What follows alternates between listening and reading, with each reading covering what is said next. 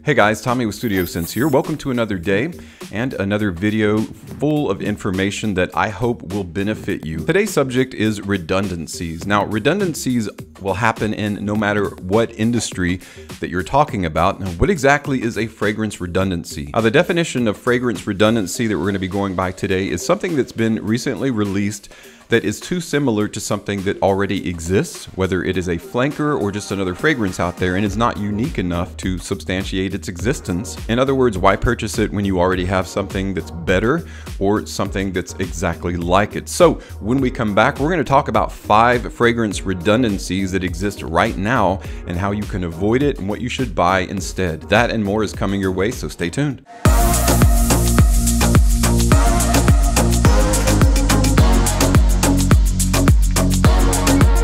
Welcome back, everyone.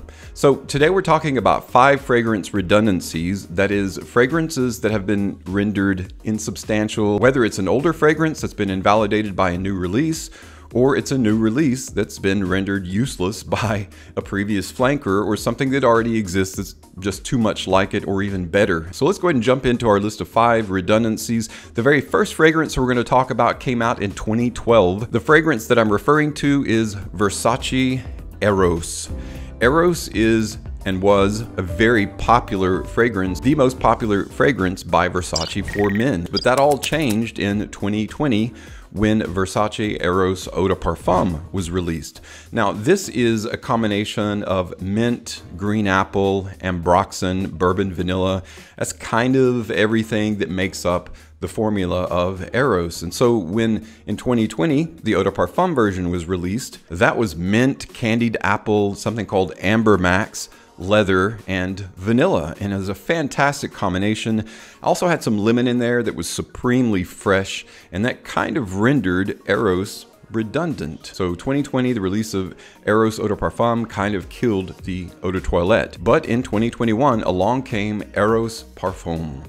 Eros Parfum is by far the best version of the Eros DNA. It contains elemi resins, benzoin, cashmere, and vanilla. This is the resin-based version of the Eros DNA. And again, it's by and large the, the best version because not only does it have that extremely popular Eros DNA, it's also Eros cold weather answer to the fragrance. It has overall a better scent profile and better performance. It is a bit pricier than the Eau de Toilette, so you'd still be better served purchasing the Eau de Toilette if you're on a budget, but if you can afford it, and overall, I think it's gonna be better in the long run for you in terms of, of monetary because this will last a lot longer you're getting a better product, you're getting a better Eros in the Parfum edition. So in my opinion, there's absolutely no reason to purchase Eros unless, again, you're on a really tight budget and you still want that Eros DNA. Our next fragrance redundancy is from the house of Zadig and Voltaire, and it happens to be a new release entitled This Is Him Vibes of Freedom. Vibes of Freedom is a flanker of the This Is Him DNA, but the problem with it is it should be vibes of dilution. And I don't mean delusion, I mean dilution, something that's diluted or watered down because even though this particular fragrance out of all the flankers is a bit more true to the original notes that make up This Is Him, it's just too little of it. If you were to dilute the This Is Him DNA and into four parts, this would be a fourth of the DNA. It's extremely light. If you're gonna spray something on, even if you want something that's gonna be office friendly, it just doesn't carry enough of that. You're better served purchasing This Is Him and wearing it instead of Vibes of Freedom. However, compared to another This Is Him flanker, this is redundant. The flanker that I recommend purchasing instead of Vibes of Freedom is This Is Love. This Is Love Pour Lui is by far the best flanker in the This Is Him line of fragrances, at least in my opinion. It's essentially a very strong, staunch combination of bergamot, orange blossom, and sandalwood. This is a sandalwood based fragrance. If you're a lover of all things sandalwood, you'll really enjoy This Is Love. And again, it's much stronger than Vibes of Freedom. It performs better, it lasts longer, it's more versatile, all the above. This is Him Pour Lui by Zadig and Voltaire. Our next fragrance redundancy, though I hesitate to use the word redundancy in this case because it is a Giorgio Armani fragrance or a subsidiary of Giorgio Armani, which is Emporio Armani.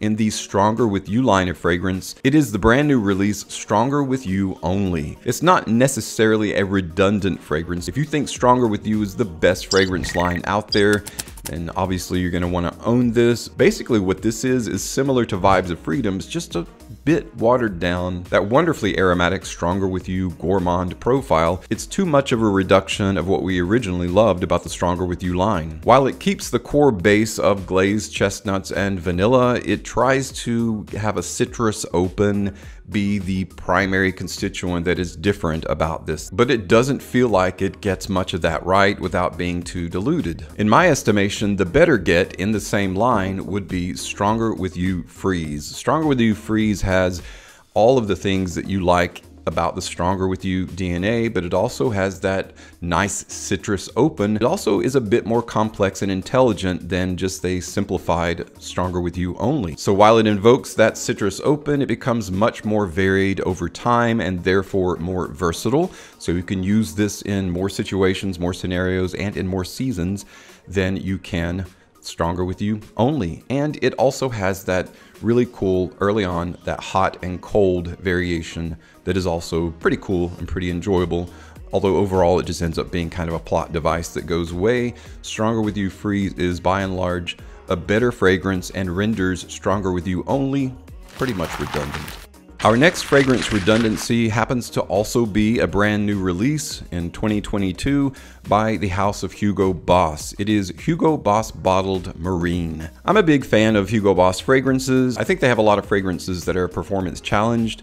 This happens to be a little bit performance challenged, but the problem with Hugo Boss Bottled Marine is while it is enjoyable, it's just extremely uninspired. The biggest caveat in this is frozen apple.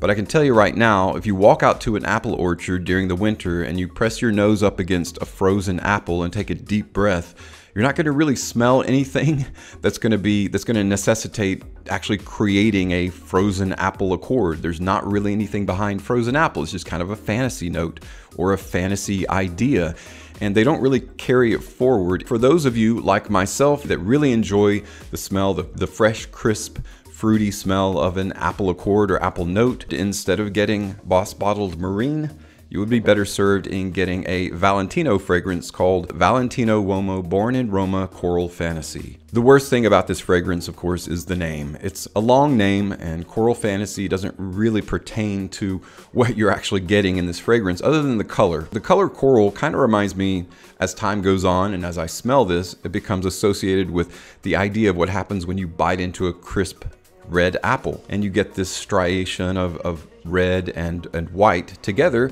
and it kind of becomes somewhat of a coral color. I know that's a stretch. The pure, crisp, sweet apple accord in Coral Fantasy is bookended by a dank tobacco absolute and a very rich vetiver and patchouli. It's kind of the one-two punch in this knockout scent. Sure, you're going to spend more on Coral Fantasy than you will on Boss Bottled Marine, which is a relatively inexpensive fragrance even as a new release, but in the long run, you're going to save yourself not only aggravation, but also money. And this will satisfy you throughout the entirety of what might have been a bad experience and turn it into a good experience, a fantastic experience.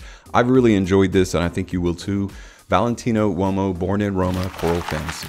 Alright guys, the last of our fragrance redundancies, number five out of the, the five that we're looking at today for men's fragrance, is actually a Dolce & Gabbana fragrance. And I've got a lot of questions about my opinion on this, and I'm going to go ahead and answer it in this video instead of addressing each of you guys individually who have asked me. So my opinion of the Dolce & Gabbana limited edition release of Light Blue Italian Love Pour Homme is that it is a redundant purchase in view of the Light Blue Forever Pour Homme. Now, when I first did my first impressions of Italian Love, and I'll go ahead and link it above here in case you're interested in seeing more detail on that. I was actually quite shocked at how much it, it smelled like Light Blue Forever. But really, when you consider what a limited edition is, it's the same thing as the previous fragrance, it's just a slight derivation or a bit of a difference. The primary difference in Italian Love is honestly, it's got less grapefruit in the open and it has the addition of green notes that change the heart and change the, the end results in the dry down, which is not a bad thing. I mean, it's a very enjoyable fragrance I, and I like it. I like it. However, if you already own Light Blue Forever, there's really no reason at all to get Italian Love because you're literally getting the same thing. You're just getting this very slight variation in the open, less grapefruit, in the hard and the dry down. You're getting green notes added to the ozonic and, and the darker, you know, base notes. It's not a lot of difference. It's some. And if you have money to burn, go ahead and get it. And If you like the entire line, go ahead and get it. But again, for most of us, forever will be all we'll need. Now, if you don't own either and you like the idea of green notes and something that feels a bit more tropical rather than oceanic, then you might want to get Italian Love instead of Light Blue Forever. Light Blue Forever is an eau de parfum. This is an eau de toilette, so that's another difference in the two.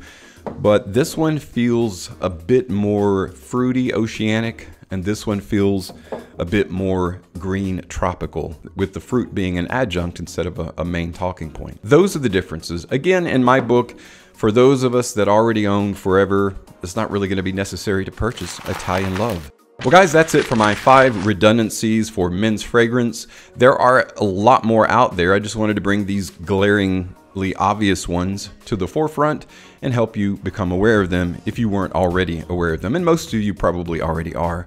If there are other redundancies out there that you feel, in your opinion, let me know what your thoughts are of those in the comments below. But I do appreciate you stopping by and checking out today's video. And as always, thank you so much for your support on my channel. We're almost at 13,000 guys, just a few more. Let's go ahead and push it. For those of you that haven't already subbed, make sure that you check it out and that you see that word subscribed. If not, go ahead and subscribe and that'll push me over the edge into 13K. Again, guys, thanks so much. I'm Tommy with Studio Scents and I'll see you tomorrow.